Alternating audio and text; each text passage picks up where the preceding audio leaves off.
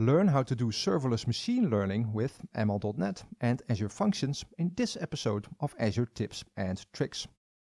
Here we are in the Azure Cloud Shell. From here, we'll create an Azure function that will run a machine learning algorithm with ML.NET to predict flower types. This will use the machine learning model that we've created in a previous episode. To start, I'll create a resource group called MLNet Demo. Next, I'll create a storage account. We need this to store the model.zip file in that the function will use. Make sure to use a unique name for your storage account. And there it is. Now I'll create the Azure function. Again, use a unique name for your Azure function. And there it is.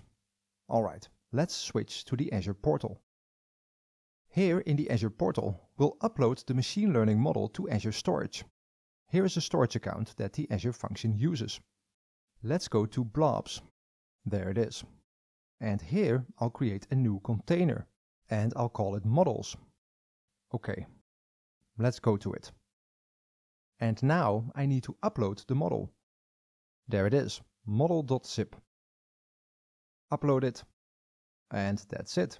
Alright. Here we are in Visual Studio where we'll create the Azure function.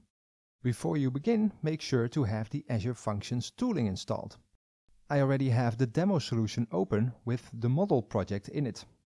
Now add New Project and choose Azure Functions.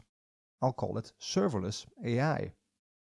And here I'll choose the HTTP trigger. Also I'll choose a storage account. Browse.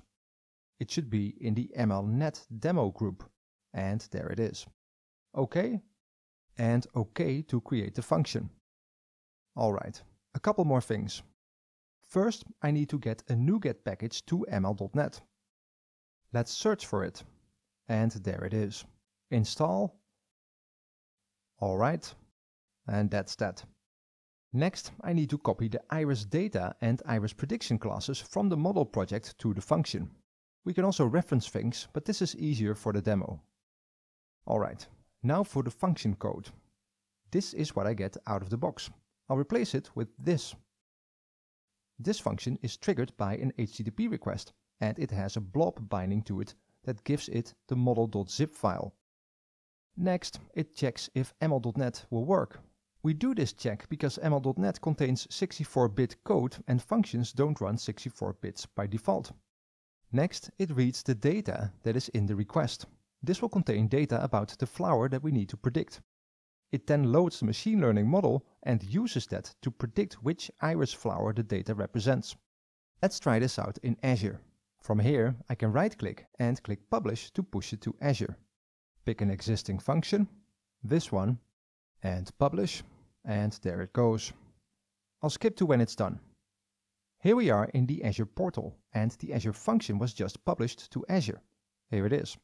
Before we can use it with ML.NET, we need to change an application setting. This one. The function needs to run on 64-bit to be able to run ML.NET. That's it. Let's go to the predict function. And now we can test it in the test window. We'll do an HTTP post and send it this data that represents the petals and sepals of an iris flower. There we go. And that's it. It took the data and predicted that it belongs to a Virginica iris flower. Cool, right? I can't show you why this is the right data, as the data that we've put into the prediction isn't exactly in the dataset. The model made a prediction based on that data, and it came up with the result. That is what's cool about this, and makes it way more useful than just looking up some values in a list of data. You've seen how to create a machine learning algorithm with ML.NET and use it in a serverless Azure function. This is serverless AI.